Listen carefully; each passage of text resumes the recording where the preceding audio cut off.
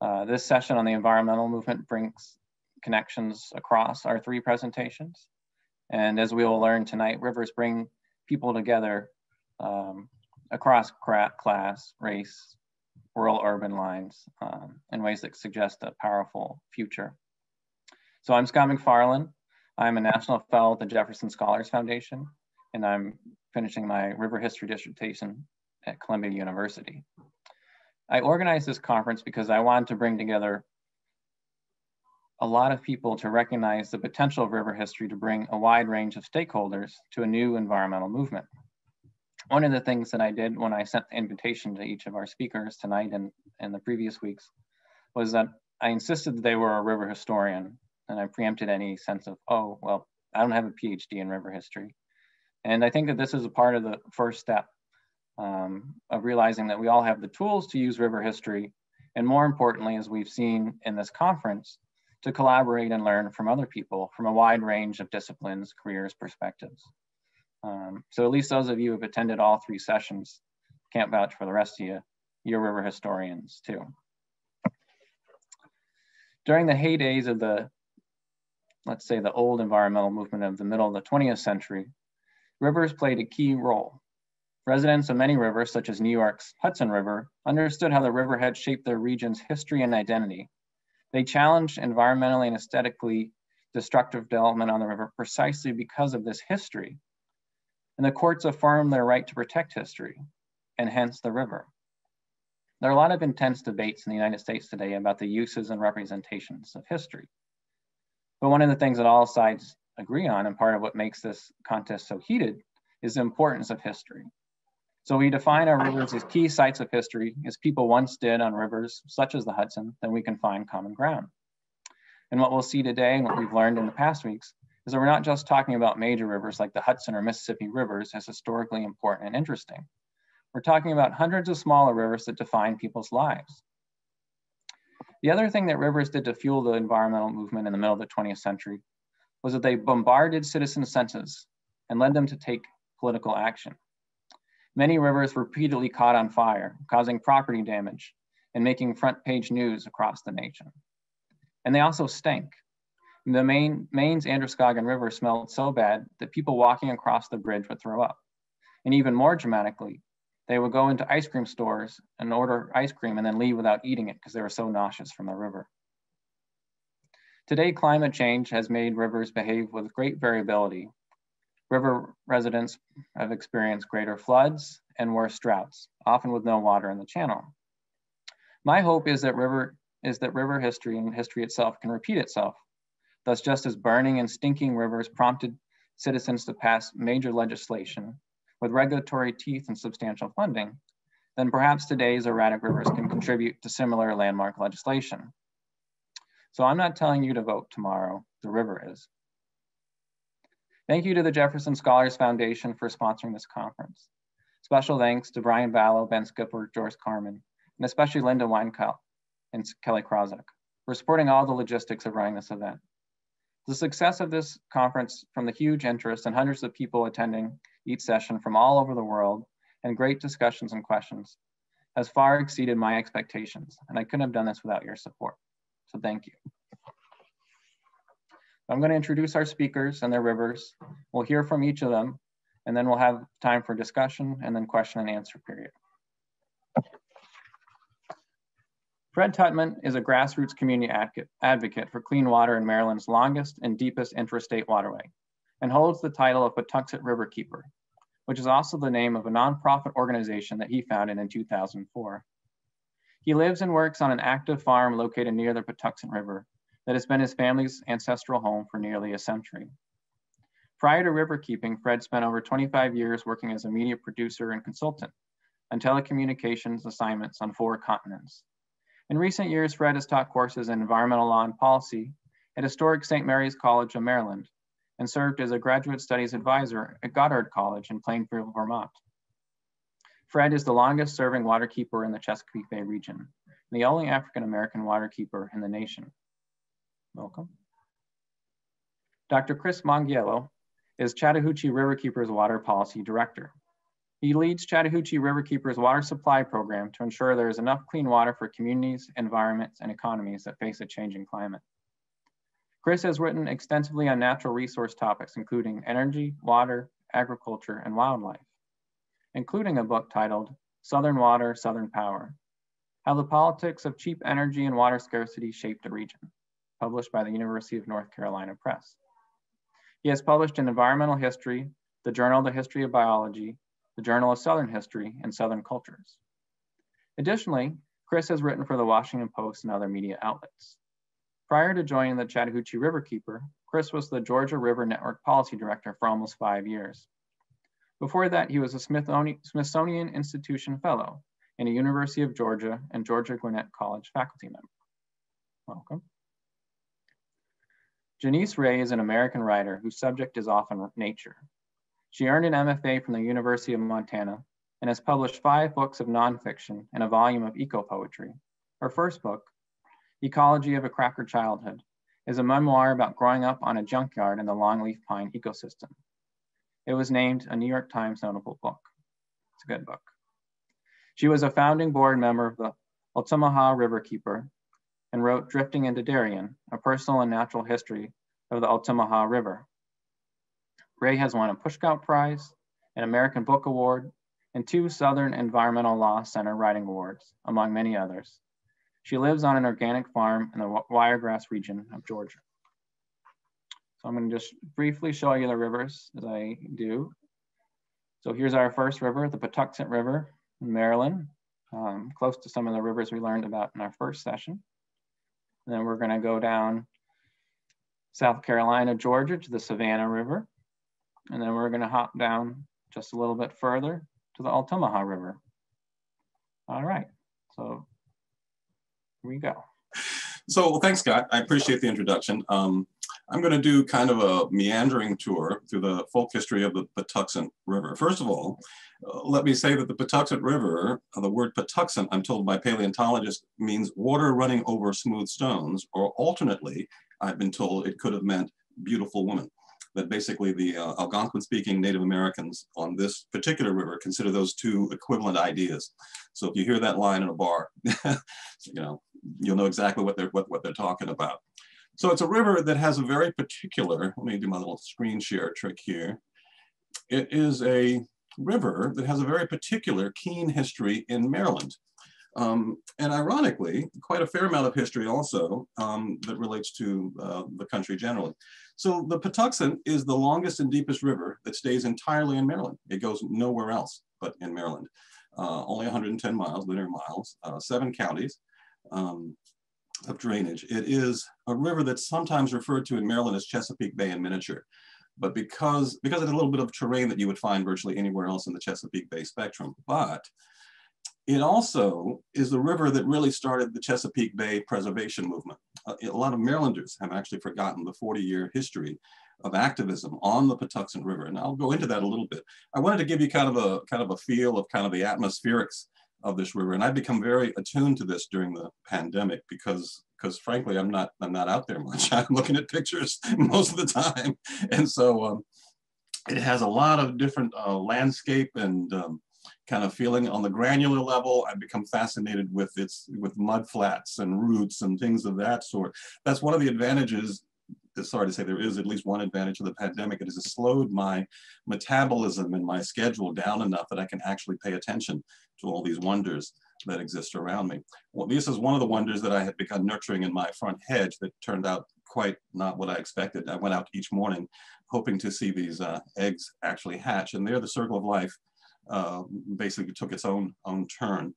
But uh, not, not to stay on a, on, a, on a downbeat side, it's a pretty fantastic wonderland. And I frankly had no idea, as much as I grew up next to this river uh, most of my lifetime, um, I grew up in the freshwater upriver sections that are very relatively shallow, kind of more stream-like. And in fact, I have uh, friends and acquaintances in the south of the Patuxent where it's deep and wide. Actually, the deepest water in the Chesapeake Bay is actually found in the Patuxent, 190 feet near the Solomon's Bridge. It actually has a sunken World War I submarine on the bottom, considered one of the Mount Everest of dives for free divers in the south of the Patuxent River. There are a lot of different flavors, colors, feels, and, and like I said, the folk history along the Patuxent is rather extraordinary. Queen Anne Bridge, the bridge on the right, is actually in walking distance of my home.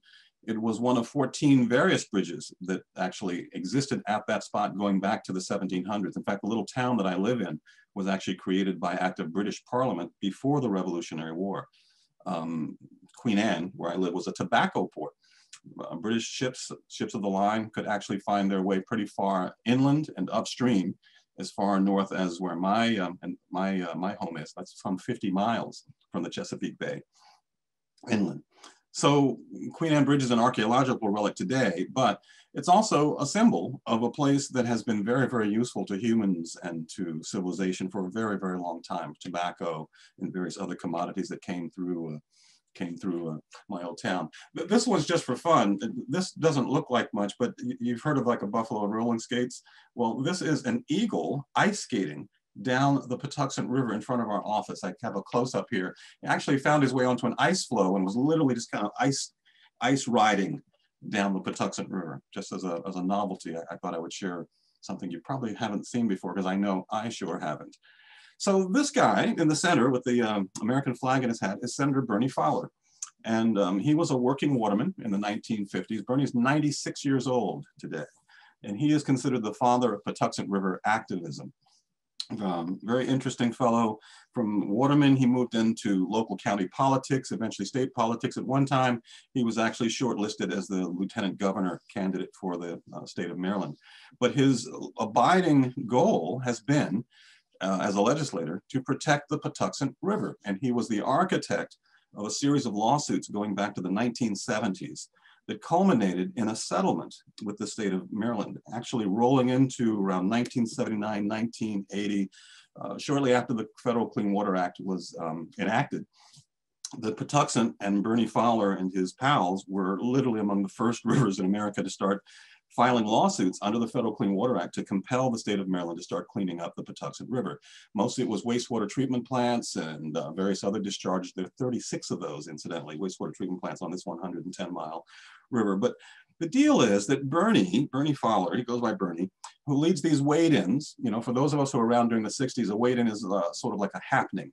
It's something where people get together, they hold hands, they stride into the river until they can no longer see their toes.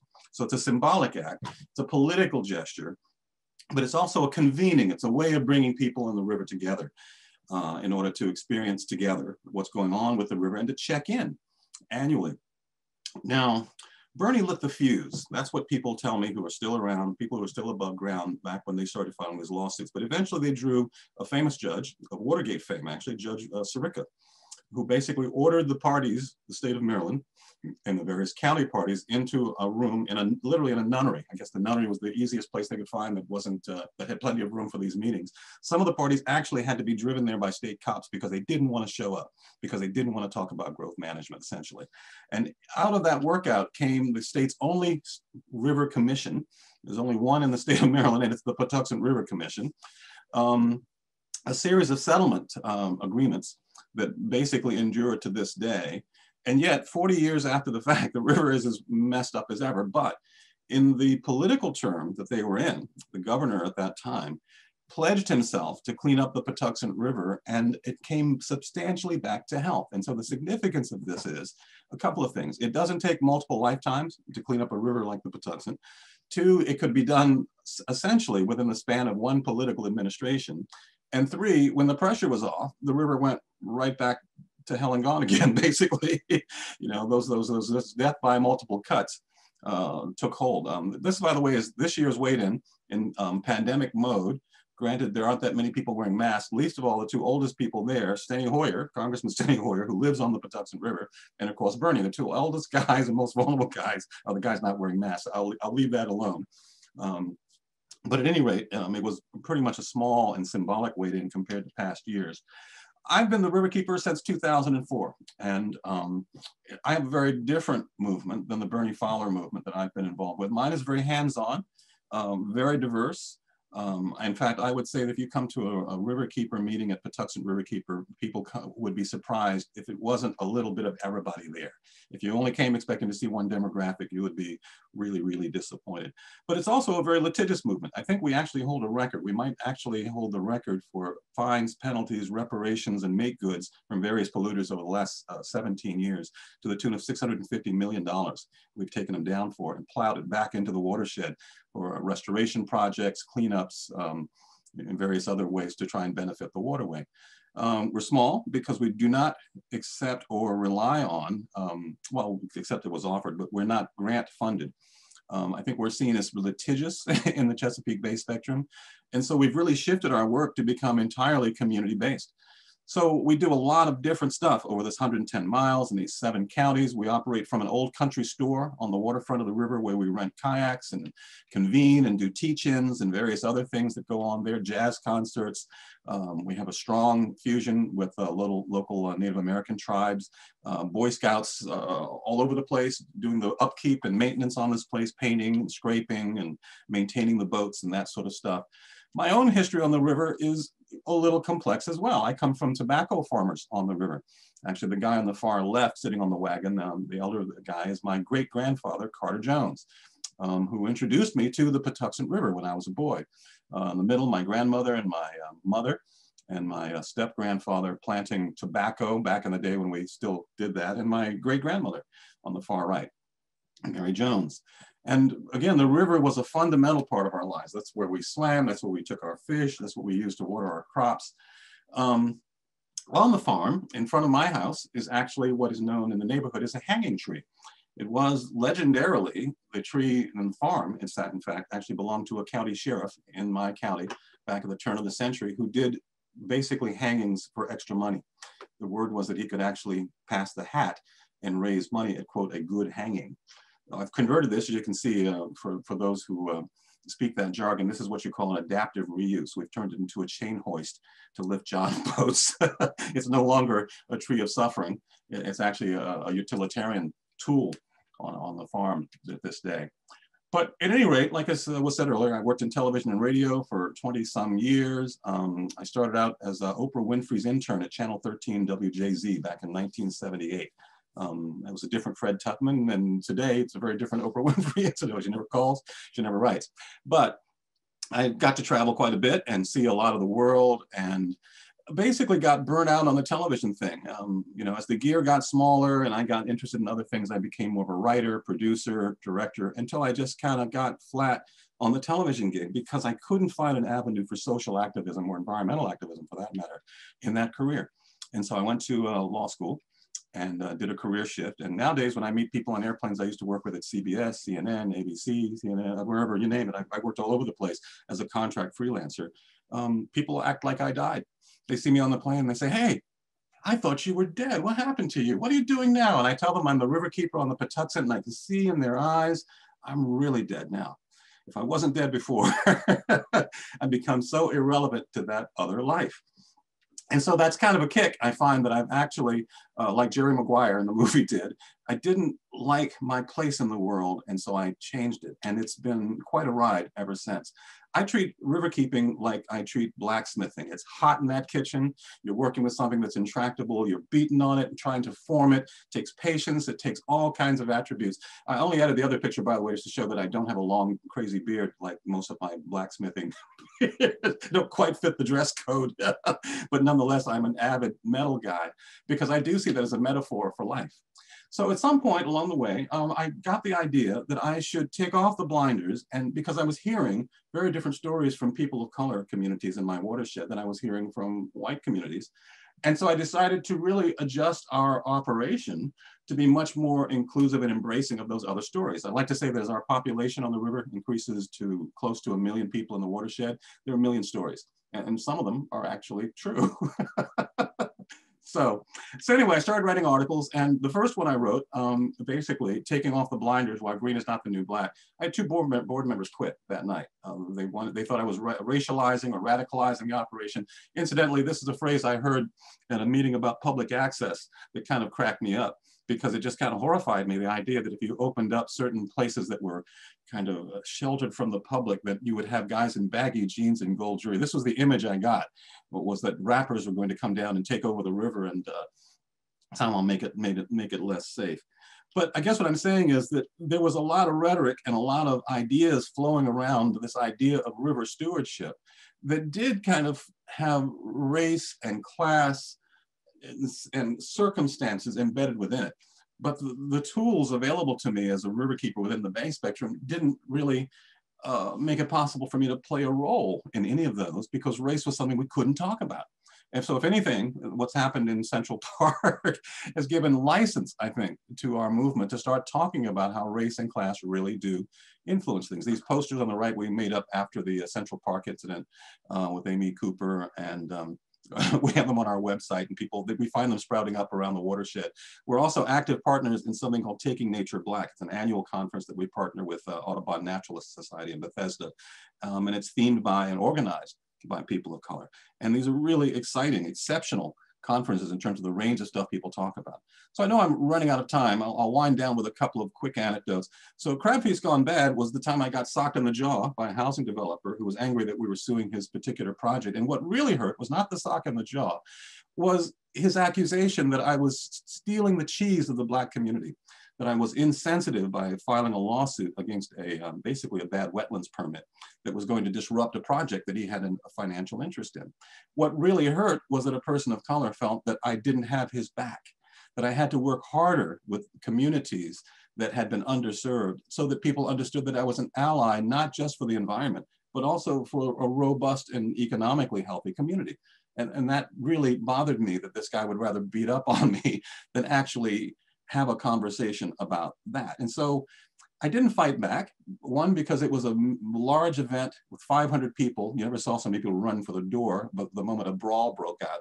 But I didn't want to end up in the newspapers as the guy, the riverkeeper who was in a brawl. And so I took the hits because it was, I thought, more, shall I say, more dignified, more, more disciplined to to take the heat because I knew also I knew my guys would drag him off. I mean, that's exactly what happened. It didn't really hurt me. I saw him a couple weeks later at a political function. Turned out he was the Democratic Central Chair in my home county. This guy was very credible and very upset with me about his project. He came up to me at this other event, put his arm around me and said, we need to talk. And you can imagine what I said was, you need to get your hand off of me. let's start there. let's start, let's start our new revised working relationship without physical contact and work upward from there. Bitter tea, the same sort of thing. Uh, a couple of little old ladies drinking tea explaining to me why Black communities don't just go and clean up that mess. Don't those people have any initiative? Don't those people next to that coal burning power plant, can't they fix those problems by writing to their congressman? Isn't that what we did? I mean, it was it was troubling for me because I didn't know how to rebut a conversation where these people had such a different idea of how the society works that it, they assumed that their stewardship for the environment was not shared by people of color because we simply didn't take the initiative to clean up our neighborhoods. It was it was troubling to me, and I call it bitter tea because the tea tasted pretty bitter right about that Venice little tea party I'm at. And last but not least, the watermelon martini. So hecklers, I get a lot in this work um, I had a lady freak out in the back of uh, the room at one of my speeches. She started screaming that I was a, not really a person of color. I was probably a fake. You're probably married to a white woman. And by the way, I'm sure you don't like watermelon. And so I broke out laughing and said, well, I like watermelon martinis. Does that count? And she kind of ran out of the room with her hair on fire. And I got a letter of apology from it. For the life of me, I can't remember what I was saying at the time that she flipped out. But I guess what I'm saying is this environment stuff, it really does touch people where they live. It touches people at a very visceral level. And so a lot of the work that I do and the Patuxent River Keeper is engaged in is really people-based. It's connecting people, it's bringing them to the river. We work with a paper hand puppet theater down down south, actually in North Carolina recently, did a series of uh, educational videos that we can take online. Um, likewise, uh, we're doing a lot of that work now in our own watershed as well. We partner a lot with Haw River Keeper in North Carolina but we also partner with other programs to kind of bring life to these programs that we can't really run in person during the, uh, during the pandemic. We're a three-ring circus of activities on the river, stewardship. Uh, we fight PFOS, PFAS, coal waste, the largest coal burning power plant in Maryland is smack dab on our watershed. And we've been suing these guys for breakfast ever since we actually were successful in getting them to announce the closure of their coal burners um, almost six months from now. They announced last June that a, within one year, they're shutting down the coal burners after 17 years of us litigating over their coal waste streams and so forth.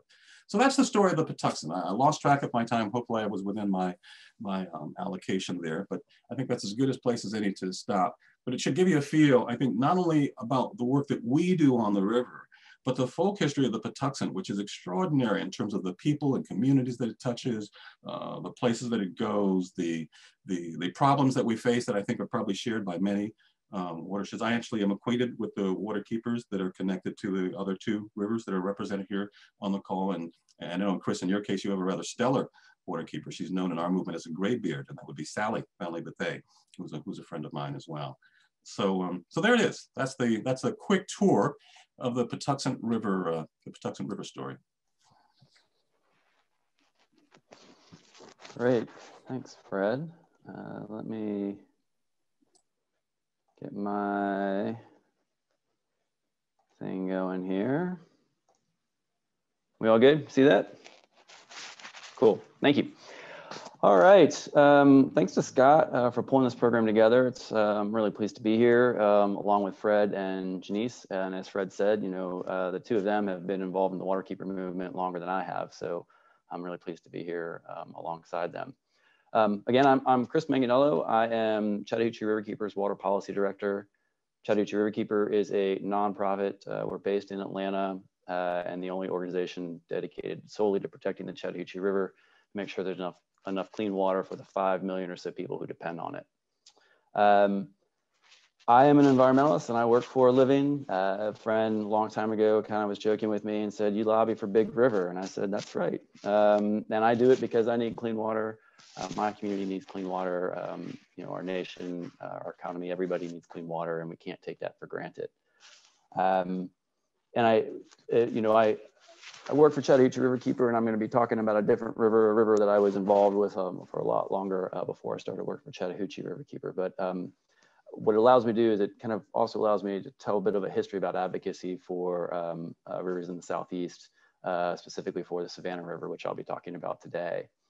Um, Southern environmentalism in some ways might not seem um, like two words that should be connected. Um, and uh, maybe at least not connected, maybe in the sense that, you know, uh, certainly um, when I was kind of involved in uh, academics and um, in graduate school, um, the idea that environmentalism was this thing in the South, it was kind of, nobody wrote about it. And, and so um, unlike places like New York and California, where I think kind of a story of environmentalism makes uh, maybe more sense or, or, or sounds more um, plausible, um, I found Southern environmentalism to be pretty uh, fertile ground actually. And so I want to talk about what I've learned about environmentalism in the South, environmentalism in the, in the South. Uh, conservationists, environmental actors, activists writ large that have a long legacy in the South. If you look long enough, if you're willing to be flexible in your terminology, and if you're wearing, if you're also willing to check some stereotypes at the door. Um, so speaking of stereotypes, let's start off with one of them. Um, I suspect many folks are familiar with um, James Dickey's novel and then the subsequent movie, uh, Deliverance. Burt Reynolds, dueling banjos, male rape. Uh, but do you remember why this group of inexperienced white suburban Atlanta paddlers paddled down the fictional Cahulawassee River? And it was all about a dam. There was a power company that was building a dam. It's a screen grab from the movie of an actual dam that was being built um, adjacent to um, where the filming took place in the river. Um, and they, they wanted to be those last folks to paddle. Um, James Dickey himself had been a paddler uh, in Georgia and paddled the rivers. Um, um, and of course, the movie itself was filmed on the real Chattooga River, uh, which I'll talk a little bit more about as well. But this movie came out in the 1970s during what was called the Big Dam era. They were building big dams all over the country at the time. Um, environmentalists were certainly fighting those dams, certainly in places like Colorado. Um, and in this sense, Deliverance is not really just kind of Southern literary Gothic. It's, it's also an environmentalist's critique. James Dickey was really responding to more than a century's worth of change uh, to America's rivers. And James Dickey was, to paraphrase the Sierra Club's David Brower, not fighting a dam, he was fighting for a river. In a bird's eye view, if you kind of pull up uh, high into the sky above the southern Appalachian Mountains and the headwaters, it kind of explains why. From high up in the air, what one can see in every direction is how uh, the Duke Energy Company, Georgia Power Company, Tennessee Valley Authority, the U.S. Army Corps of Engineers, they all fundamentally transformed this region. And over the course of 130 years, engineers built dams and reservoirs to generate electricity and power, as well as to facilitate navigation and control floods, as well as a bunch of other benefits. But really what they did is they fundamentally created a new waterscape, right? And not just like a landscape with trees and, and streams and whatnot. They fundamentally created a waterscape, flooded valleys all over the region. Um, and in contrast to all those adjacent valleys in um, the uh, southern Blue Ridge Mountains, the 50 mile Chattooga River flowed wild and free as an anomaly well into the 1970s. And the Chattooga was and is a river surrounded by a sea of reservoirs. So deliverance was an anti-dam rant that matters because dams block free-flowing rivers, dams create reservoirs, and in the South, we call those reservoirs lakes. But the truth is there are no natural lakes in the Southeast. Um, let me repeat that. There are no natural lakes in Georgia, um, you know, Virginia, or uh, excuse me, uh, North Carolina, South Carolina, Tennessee. Florida is an exception, but there are no natural lakes in the South. People made all of them. They're artificial. So the long story of dams and Southern activism um, explains why the Chattooga River remains flowing free today. And I want to lay this out with some short tales about fish, a waterfall, clean water, and come back to that wild river. It's a story about power, control, conflict, and who ultimately would speak for the waters of the Savannah River. So looking at this map right here, just orient you real quick. Um, the uh, Chattooga River uh, starts up here in North Carolina, um, Horse Pasture River um, uh, over in um, uh, North Carolina as well. They, they, these two rivers flow into Georgia and South Carolina. They flow into this large reservoir called Hartwell, uh, through that big dam, into another reservoir and through Richard B. Russell Dam, uh, down through the Strom Thurmond uh, Lake and Dam to a couple more dams down here in Augusta. And then the river slowly kind of wanders and meanders uh, the rest of the Savannah River all the way down to the city um, of Savannah and into the um, Atlantic Ocean.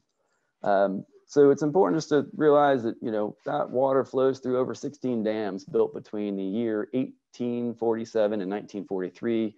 And then that water finally hits the salt water. Um, so let's start with the fish. Long before the first Earth Day in 1970, uh, Georgians and South Carolinians were fighting dams, and the first one involves fish.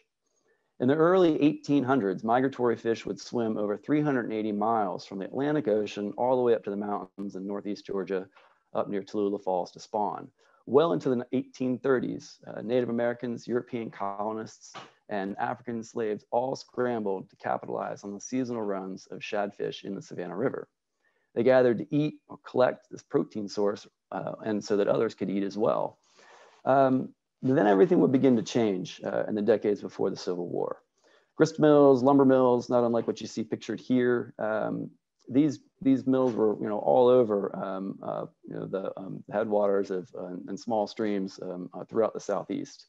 Um, you know, the, the mill owners would build a dam across the river, send the water into that kind of long finger looking chute. And of course, the water would fall on the wheel, spin the wheel, and then the wheel would spin, you know, stones to grind corn or, or saws to cut wood. Um, but to harness this power, they had to build that dam. Uh, and those structures, those dams would render the seasonal passage of um, and migration of the shad nearly impossible. Um, so uh, legislators, uh, again, you know, you know, before the, uh, uh, you know, in the early 1800s, you know, they would, they were you know, often had to answer to their voters, uh, just as, we'd like our legislators to answer to voters today. And so, folks in South Carolina and Georgia um, worked with legislators. Those legislators you know, passed laws threatening mill dam owners who blocked the Savannah River and its tributaries uh, with jail time and fines. Um, legislators passed all sorts of bills and forged compromises between anglers and uh, mill owners. Um, but the reality of the situation is that those laws were hardly ever enforced.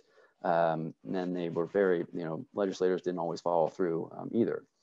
So in at least one situation, some anglers tried to take uh, matters into their own hands. Um, in a South Carolina example, um, a handful of folks tried to rip a dam down by uh, with their um, own bare hands and pickaxes. Um, didn't quite pan out the way they wanted to, um, but nonetheless, it just kind of illustrates that you know folks cared about their fish, cared about their food source, and and kind of where their food came from, um, and did what they thought they, um, they needed to do to remove that dam. Uh, despite legislative action though, um, and what were called the fish sluice statutes, uh, the losers ultimately ended up being the fish and some of those folks that were dependent upon the fish protein. As more dams would rise throughout the Southeast and the Savannah River Valley, the shad runs would ultimately decline. And by the 1850s, those massive runs of shad were disappearing from the Savannah River and uh, all southern waters as well.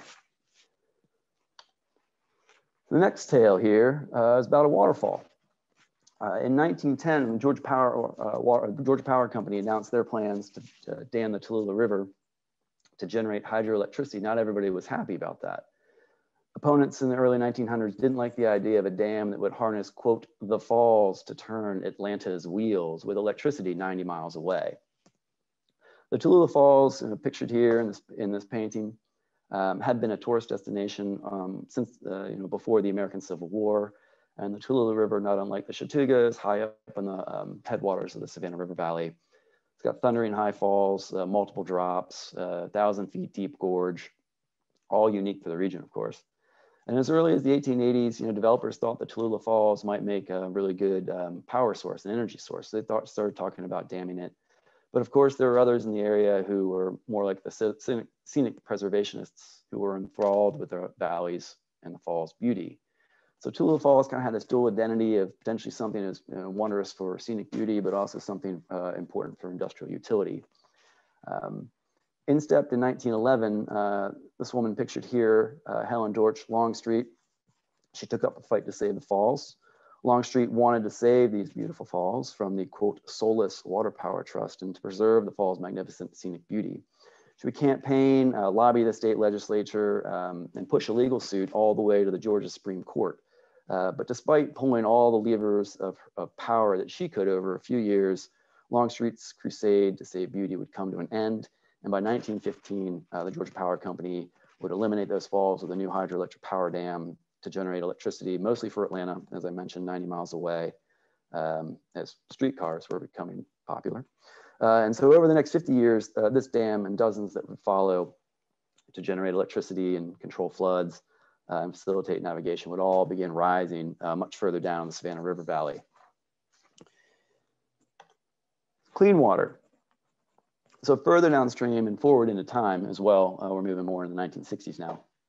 I found an interesting debate among uh, environmentalists, I think, as we kind of understand uh, environmentalists as well as what uh, countryside conservationists. These a lot of folks that lived in rural communities um, who um, had their own kind of definition of, of what it meant to, um, to protect nature and to speak for um, uh, uh, for the Savannah River.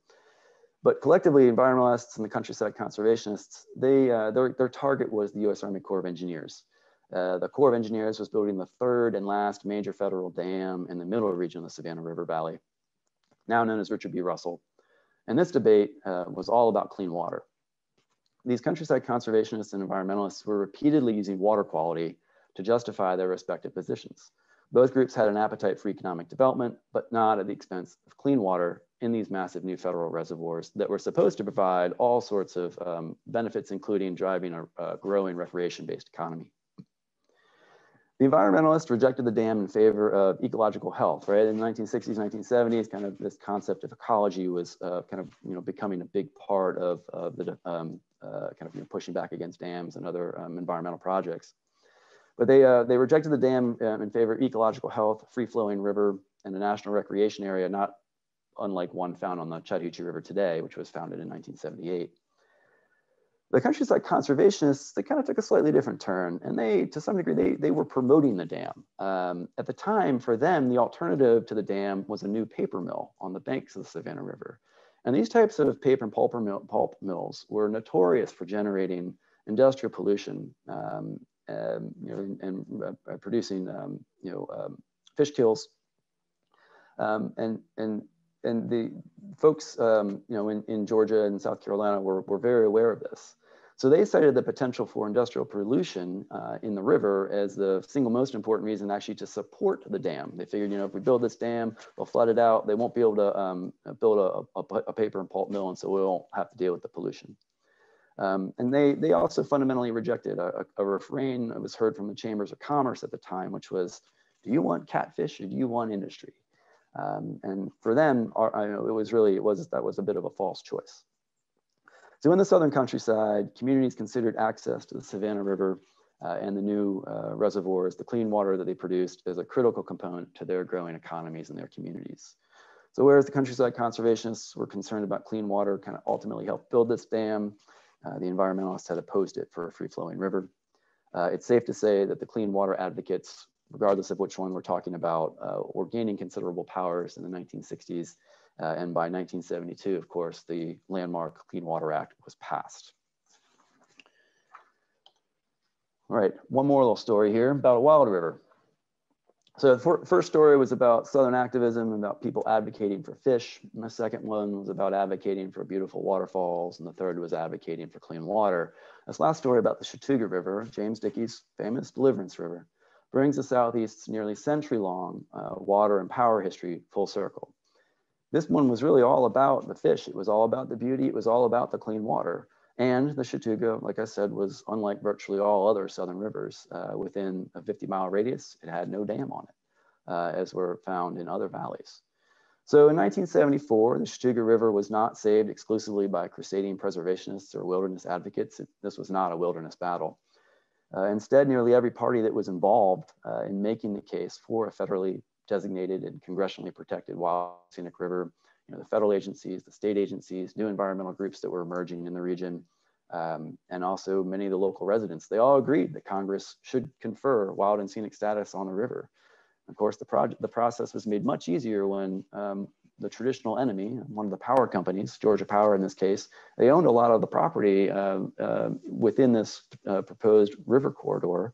Uh, and they uh, kind of, uh, with the Forest Service, negotiated a land transfer um, to, to make kind of the, the river corridor, the wild and scenic river corridor possible. Of course, it didn't hurt that this guy in the canoe, Governor, um, Georgia Governor Jimmy Carter, also loved to paddle state's rivers, had been paddling the rivers um, for years uh, and seen here uh, on the Chattooga descending in 1974, just before it became a wild and scenic river. And he would use his power as governor to kind of push the river over the finish line, if you will, in 1974 it is important to recognize that not everybody was on board with the Wild and Scenic River. Um, a few years after it became an official designation uh, in place, you know, thousands of acres of forest uh, burned um, kind of in the area in the region. And the arson was really ultimately a consequence of turning a place that had been really this kind of uh, spot for local recreation into a national destination. The Chattooga had always offered uh, local folks some recreation options, right? They, were, they knew where their honey holes were to go fishing. But those old river users would eventually feel powerless uh, and they resented the crush of visitors that were stimulated by Hollywood's visual representation of the Chattooga's wild landscape and rapids in the movie. One of the fascinating things that I, in, in kind of, you know, this larger research project I worked on as a, as a graduate student and, and you know, wrote a book about um, was that there's always more to a dam story. Um, and that's what I discovered about water and power in, in, the Savannah River Valley. Water and power intersected with just about everything, water rights, property rights, states' rights, and civil rights. For example, uh, when the federal government began building reservoirs in the Savannah River Valley, they would often include plans for recreation areas. And in the 1940s and 1950s, that meant they had to deal with the thorny task of planning for segregated recreation. So the image on the left here is a proposed park in Georgia for Black visitors uh, to what is now uh, J. Strom Thurmond Lake. And by the time they kind of really built this, uh, this reservoir out, um, we had, from a legal perspective, moved into kind of the era of desegregation um, by law. Um, and so they never actually built these segregated facilities um, on the Savannah River. But nonetheless, um, there was a lot of uh, interesting kind of history about recreation um, that came out of this project for me. Um, the other thing about new dams and reservoirs is they require people to move. And on the right, you can see a structure turned on its side. Um, it's, a, it's a house on its side in Burton, Georgia, uh, where Georgia Power built one of their last hydroelectric dams um, to build, uh, to create Lake Burton. Sometimes land that folks had to leave was actually the most productive uh, land around. Um, think about those kind of real fertile river bottoms. Um, but you know, so many folks, uh, some would move without a fight. Many would also uh, actually fight land condemnation.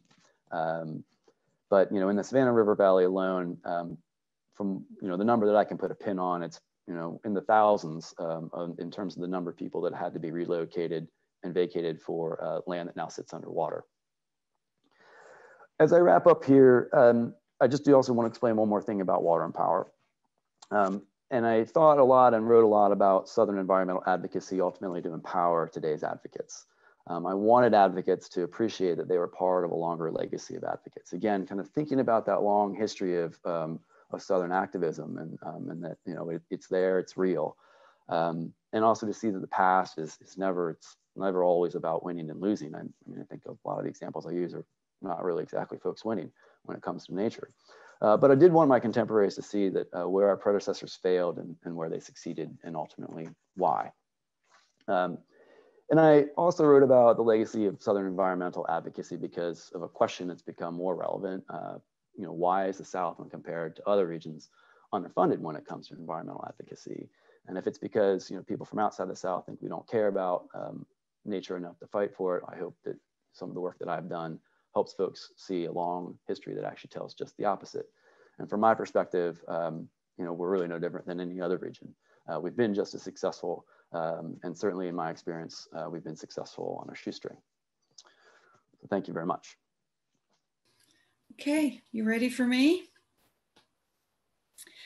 Um, my name is Janisse Ray, and uh, I'm going to be talking to you today about a river that's a little bit south of the one Chris was talking about. Wait, let me go back. Thank you all for being here on this election eve, a very important night. And I'm really honored to spend it with my colleagues, Chris and Fred, and also with everybody who's here with us. Thank you so much for coming. Thank you for caring about rivers and thank you for caring about our planet.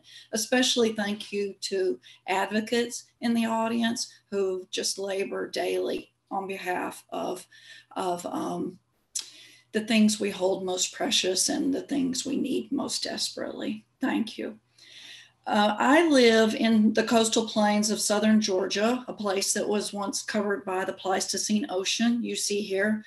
Uh, my river, uh, the river I'm speaking of tonight is the Altamaha.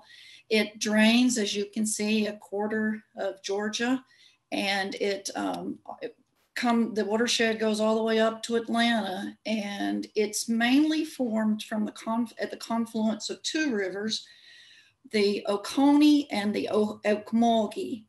They come together at a place called the Forks, um, and then the river travels 137 miles down to the to the Atlantic Ocean, um, coming out at Darien in a, in a braided mouth system the Altamaha Sound. Um, here is a picture of the river from the air. It's a, it's a very large river. It may be hard to tell here, but uh, the, the gallons per minute is 100,000, of course, depending on where we are. There's a big cycle of flooding and drought. In some places along this river, the floodplain is five miles wide and even wider. Um, there is a third river that forms the Altamaha, and that's the Ohoopee. So um, this is the Ohoopee coming in a little bit south of the confluence, you know, maybe 50 miles. And I live in basically in the lower left-hand corner of this picture. Um, I live in the delta of these two rivers um, on an old farm from the ground, ground truthing this, here's what it looks like, a little grainy, but you see those cut banks over there and then sand, lots of sandbars. So it's doing that. It's, it's, an alluvial river that's black water from tannins, from cypress and oaks and pine straw. And it's doing that whole oxbow thing where it loops and loops until it finally cuts off pieces of, of itself. Um, along the sandbars, which you see on the in the far background to the right, are mostly black willows. And then the forests um, above those are uh, uh, mainly, you know, wetland forest, red maple, cypress, tupelo, uh, swamp chestnut oak, that sort of thing. I wanted to just briefly talk about human history Um, these are Ocmulgee mounds on the Ocmulgee River in Macon, Georgia. Akiva, they were mound builders, and that's one of the mounds. And I took this photograph last winter during an extreme flood. The river was running red with red clay. Um, silt, of course, a major pollutant. But this proves that we have had human habitation on the Altamaha or nearby it for 17,000 years. Um, the Altamaha was pretty much the dividing line between uh, colonization and native territory. In fact, when the when the steamship captains were coming up or down the river, they would they would they their calls were bow Indian or bow white, um, you know, telling each other how to steer and where to go. And and then you know, in 1818, um, uh, the there was a treaty signed that then sent um, Native Americans to Oklahoma on the Trail of Tears and um, but this is the home. This, this country is the home of the Creek Nation. This picture is an old, old sawmill that was water powered on Slaughter Creek. Uh, it was running in the 40s, 50s, and 60s uh, of the 1800s. And um, we had a severe drought a couple of years ago, and I was able to finally take this picture of the floor of the sawmill sunk in. Um, the wood from my house actually was milled at this place. I live in a house built in 1850. And then we have a long and beautiful history of enslaved people working on the river, settling on the river, uh, pleasuring in the river. Um, was enslaved people who built this canal we call rifle cut down near Darien, which was meant to cut off a big loop and shorten the trip to the coast for cotton and wood and so forth. Um, I I want to talk for just a minute and let you look at this picture um, just to rest your eyes on something. I came back to Southern Georgia in uh, about 20 years ago. I, I was already 35 or so, 37, and I had a, I was an environmentalist, a hippie, a progressive. And I came back to my homeland for a number of reasons. Um, the foremost of them was that I believe that if all the people who get an education or who care or who who um, feel something for a place, leave it for a job, a career, it spells doom for that place and for those people. Um, I also I have done a lot of studying about place. I'm a kind of a scholar of place, and I, I feel that I know that my body is made from this place, and and so when uh, when the place when we lose parts of the place, I lose parts of myself. So I came back to honor my history, to honor my people, to honor my ancestors, to honor um, the land. Um, the other reason is because my grandmother's house was empty and I, you know, I, I wanted to write. I knew I wouldn't make much money. And so I, uh, my Uncle Percy and allowed me to come live in my grandmother's old house. I found that most of the stories, you know, it was really interesting listening to Chris because most of the stories of Southern Georgia, this place with no big cities, you know, no environmental movement, um, no Sierra Club, no coffee shops, a place where a, a boyfriend at the time from Savannah said, I have to set my watch back 100 years when I go visit you in Baxley. I felt that somebody needed to tell the stories of these places. There were so many beautiful narratives were untold. And, and so I came home. In December of 1998, I, I saw a notice in the paper that EPD was having a public meeting about um, the Altamaha. And at that meeting, I met this man, James Holland. Some of you, Fred, you probably know him, and I know you do, Chris. James uh, was uh, he James got a James went through the ninth grade. He joined the Marines. He was a crabber after the, his military career. He was a crabber for 30 years. He saw his catch just dwindling constantly. He became very concerned and began to talk with other uh, uh, fisher folk and water people. And um, he was at the EPD meeting. Within months of that meeting, we had begun a river keeper. We, you know, we had met, we had filed for nonprofit status, and James worked for the river keeper then for the next 10 years. Um, actually, I think I have the date wrong. He worked through 2010. Many, many wonderful things got happen during that time. And when I, you know, as I was putting this together and thinking about the activism that we had, it was, it was, there was something just, we still have, Altamaha Riverkeeper is still in operation. Um, things are still moving along, but there was something about that, the, the, the movement that began then, the originality that was just so powerful, so earth shaking.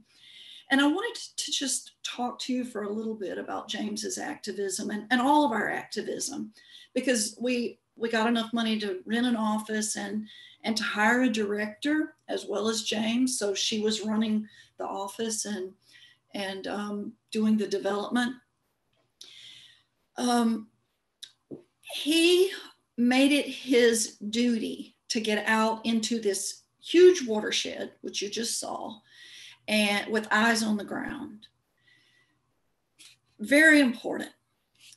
The second, or probably the first, foremost important thing that he did was take photographs. He got arrested a couple of times for trespassing. He realized that lots of terrible things could be hidden behind trees and bushes and embankments. And he began to do aerial flights, a lot with SouthWings and then with others. And the third thing he would do would, would is what I call not hand-to-hand combat, but hand-to-hand connection. So James began to send these photographs not only to the regional director of the EPD, but but also copying 25 of us or 50 of us. I might get a phone call from him at eight on a Sunday morning. You know, like I'm just waiting until uh, everybody wakes up so I can talk to you about this. There was something too, um, like you, Fred, there was something about the power of James's story because James's story was one of transformation. They had come from this place, this place of, of real poverty, of, you know, of I won't I won't go into telling his story now, but it, but there's a lot of sadness in his childhood, and yet he overcame, and he overcame to the point of leading the rest of us in, in into this new way. What happened was that people, my people, began to realize that these far off ideas that they might have heard of someplace, that they might have seen on TV, actually did apply to them that you know we shouldn't be pushing uh, you know our refuse off in the water we shouldn't be pushing our pulling it throwing our deer carcasses in the water uh, on after hunting um, we shouldn't be running pipes from our towns out to the water so I started to title this slide Redemption because I think that's what happened. I think that it was a way that the activism of the Riverkeeper, led by just, you know, people, just people up and down this very poverty stricken place, was that we could be redeemed for some of the things that we had done. James would always say, We're going to take that river back. It belongs to the people. My major concern is logging. It has always been logging. And I've enlarged these pictures so much that they're grainy, but I want to, I want you to just see uh, a few pictures, you know, from uh, Ecology of a Cracker Childhood that, that's about the longleaf pine that I, I really have been so heartbroken that the South is just being whittled down to nothing. That that our woodlots are are are being used to fuel a globe, really. Um,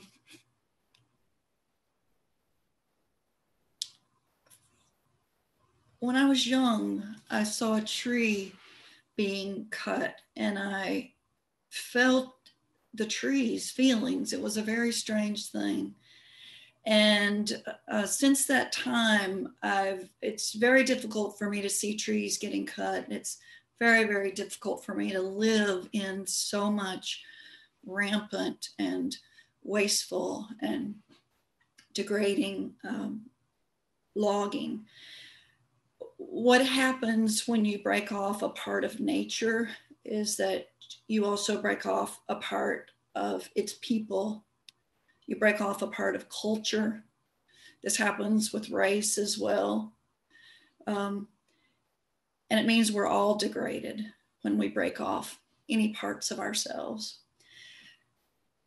I could do an entire um, presentation on this second movement that was happening simultaneously with the Riverkeeper movement. And this was that the Nature Conservancy listed the Altamaha River Corridor as one of its 75 last great places in the world. Um, they began to uh, preserve land in this thing they called a bioreserve. It started in 69 with some shorebird nesting islands, which are out in the mouth, really critical habitat for um, migratory shorebirds. I did not have room on this slide to list the dozens and dozens of acquisitions that the Nature Conservancy made. The most recent one, as far as I've been told, was in December of 2019, a little less than a year ago, that there were two more big pieces added to the corridor, which brought us up to 183,000 acres protected either by outright buying or by conservation easement. So over 50 miles on both sides of the river from the coast inland are saved for perpetuity. I, I want to just show you a couple of slides uh, that would, you see these white sandbars? That's what all of our rivers in the coastal plains look like.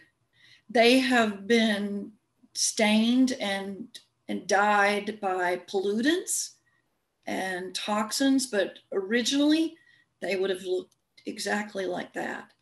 And this river is the Ohoopee here. This place still exists. You see cypress knees taller than this woman's head. Um, for some reason, when the loggers at the turn of the 18th, 19th century were logging Georgia to pieces, this place got saved for whatever reason. It's a, it's a real wonderland. I, have stuck in here some lovely pictures that James did. To, these are swallowtail kites, are really important. They nest in the tall canopy trees of the watershed. You see kingfisher, an epiphyte, an orchid, osprey, that's a sundew.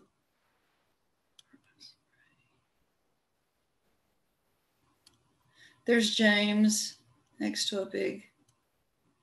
It's funny with climate change, we have more South Florida, South, yeah, Florida um, shorebirds coming up.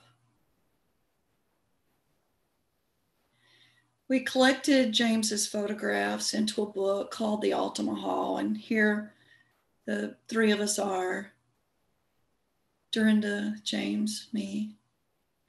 And here we are um, James actually took this picture. Uh, he was touring, a, a friend was visiting from Kentucky and he was touring us. James has not stopped.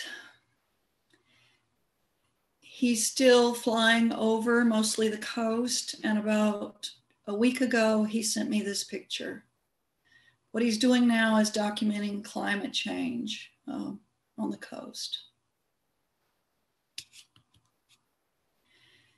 Here's my place. You can friend me, my watershed address.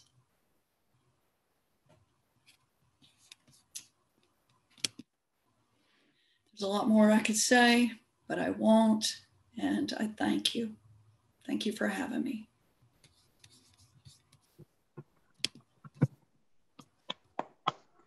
Well, thank you all so much.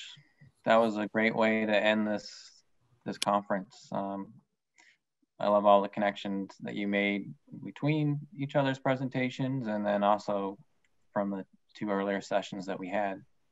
So we're just going to take um, a little bit of time for you to discuss amongst yourselves, thinking about your presentations and thinking also sort of how we can use river history for environmental justice for the environmental movement. Um, so I'm going to mute myself and uh, hand it back over to you three. Yeah, uh, Janisse, you know, one, one of the things that you you pointed out um, um, about like what the work James is doing. I mean, you know, I, I think that all three of us probably know that if you go looking for something, you're going to find it to a certain degree. And you know, like if you, know, you can go out and you can you can sample a bunch of streams, and if, if you if you sample ten, you're going to find something that's wrong. I mean, it's just it, it and it's not always that people are doing bad stuff, um, you know, intentionally, but um, sometimes they are, and um, sometimes the only way to to find it is to go and look for it. Yeah. So Chris, I might come back to that, but I want to. It's so interesting that you have such a positive look on environmentalism in Georgia and in South Georgia, and it's it's you know it's I don't maybe I'm a cup half empty kind of person, but let let's come back to that because I want to ask Fred a question, and we're all talking about activism and and what I'm really curious about, Fred. There are two things, but one is what kind of activism do you think has been most effective in your watershed? And is it litigation? So Altamaha Riverkeeper definitely hit the litigation, you know? And some of the things we didn't change. So, for example, with logging, we only have best management practices. We don't have re- any real policy in place for logging, like not policy with teeth and and so there there's so many ways that i feel and i heard you say this that we haven't made we it's easy to regress.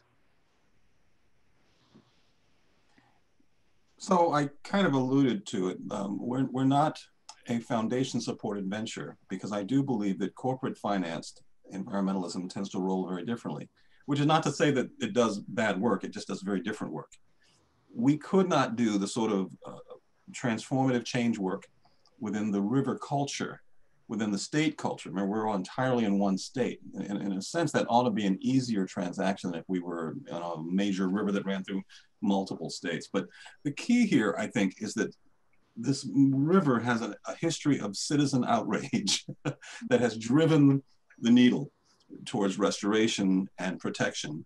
And for a short while in time, while the agreement were fresh in their minds, the state pretty much stuck to it.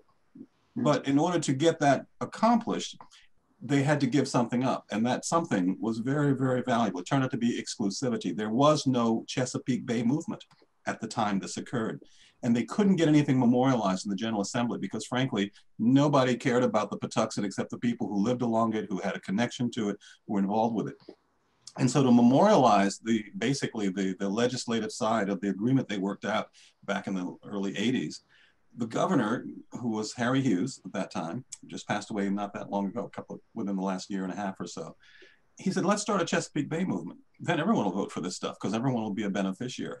So now we're part of the forest in the trees problem, right? We have an enormously diffuse, broad movement that's been failing for 40 years to clean much of anything up at all the one river that was substantially brought back to health has seen all those gains disappear.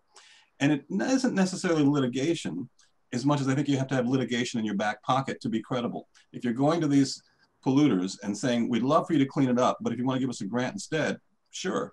right. Right. I think you have to have at least the credibility of having the tool of litigation in your hand and to at least have a conversation with the right parties.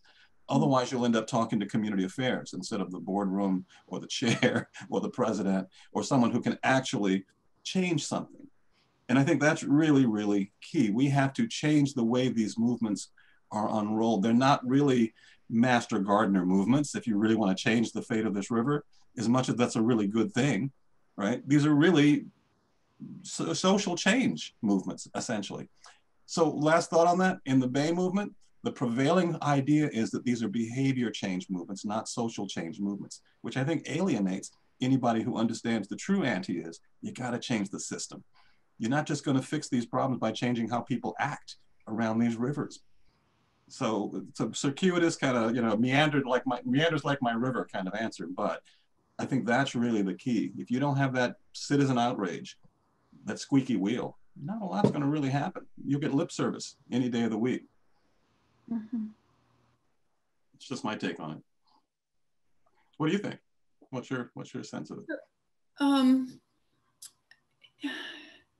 yeah, I I don't know. I've been just pondering this a lot lately, um, and worrying about it actually, and maybe so. Fred, maybe so. Chris, would you like so? Chris, you guys are seeing much more progress, I think, with Chattahoochee Riverkeeper. And maybe permanent change, and maybe being a scientist, you see more ways to quantify, you know, and I just qualify. So, I mean, I mean, maybe, maybe it is happening. Um, yeah. So, first of all, I'm not a scientist.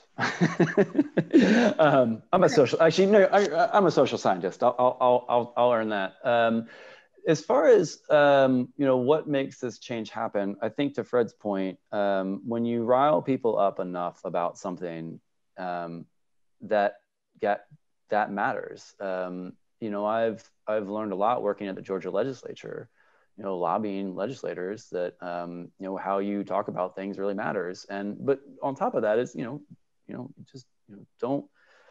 I, I am not a sensationalist. You know, I, I am very, you know, I'm very concrete about things when I'm talking about them. I'm very factual, and and I think that you know, once legislators kind of realize that, and you're able to kind of turn that into um, a communications campaign and you get people in the grassroots riled up about stuff like people start to take you seriously and, and like you have some legitimacy because what you're doing matters um, so um, I am having worked in the Georgia General Assembly. I'm, I'm actually generally not a very optimistic person, but um, I will say that uh, we have seen some real and substantive um, changes over the last couple of years. Um, and that's tricky. You know, it's hard working in a relatively conservative, well, not relatively, in a conservative state, uh, but there are a lot of conservatives who care about the environment. And so it, it, it it kind of it's like everything it depends on how you want to define success um,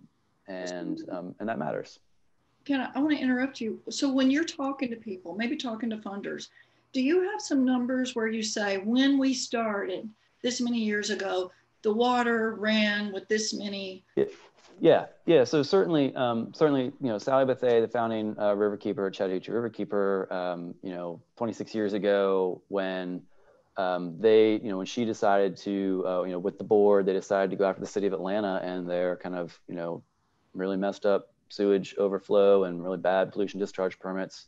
You know, they took them to court and they won. So, I mean, like like Fred was saying, um, that was ultimately a successful legal case, which gave the organization some credibility um, and it cleaned up the river, right? We can document since, you know, we can document, you know, certain, you know, as, as these, as the city of Atlanta started to, to, you know, make improvements and changes to their wastewater system, you know, we saw water quality improve. And so like we can document that.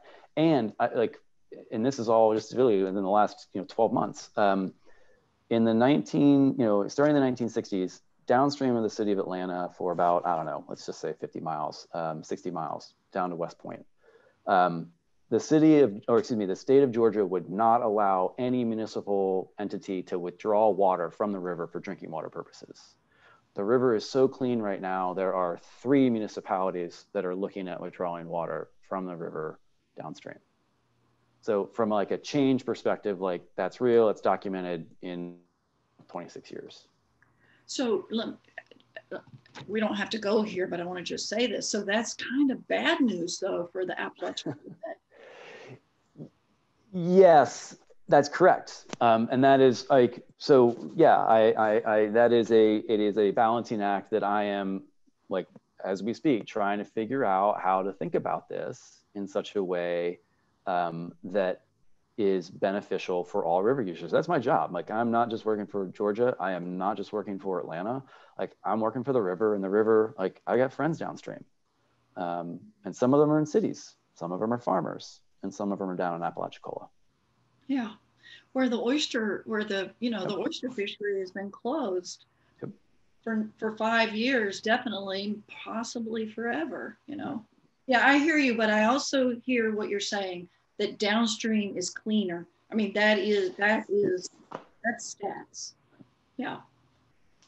All right, sorry to interrupt. I'm going to take the time for us to listen to some questions that we have from the audience. Um, so the first question is for Fred. It's, you are the only African-American waterkeeper in the US, and as a general rule, Black Americans are underrepresented in the broader environmental movement. What's your explanation for that? What are the barriers to African Americans becoming involved in the river protection movement? So first of all, let's look at the lens. When we talk about the environmental movement, I think people are usually talking about the paid, funded environmental movement. At a grassroots level, I don't see any absence of people of color at all. In fact, those tend to be pretty diverse movements in my experience. I think these larger uh, corporate funded, for the most part, or foundation funded, which is pretty much the same thing, right? The tax advantage front of corporate money is that foundation these are movements that struggle with top-down control. And I believe it's hard to create integration that way. It has to be organic, it has to be connective, and it has to be connected to communities. But community-based work is very hard to fund. I think my other two colleagues would really probably agree with that. Nobody really wants to pay for that stuff, except the communities themselves who are the beneficiaries. In my case, I have struggled as an African American to be my own man in a movement where there are tons of ideas, people eager to tell me exactly where I fit in. Uh, tell me how much capacity I have, um, uh, announce that I'm the diversity in the room, which I think is kind of insulting because frankly, diversity is, what's that? it's not equality, it's, it's like a special category, you, you know?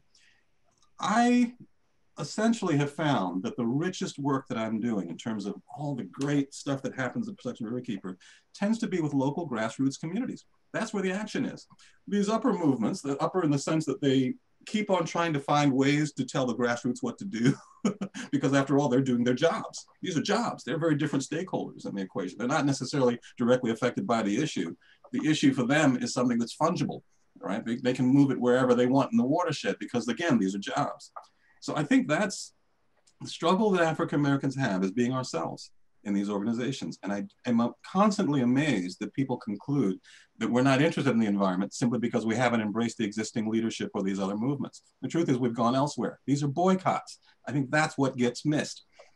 People will boycott movements where they don't feel important, where they don't feel acknowledged, and where they feel that they can't really make a contribution. They can stand by and watch the majority players do save the planet all by themselves. They get all the money, they get all the funding, they get all the accolades.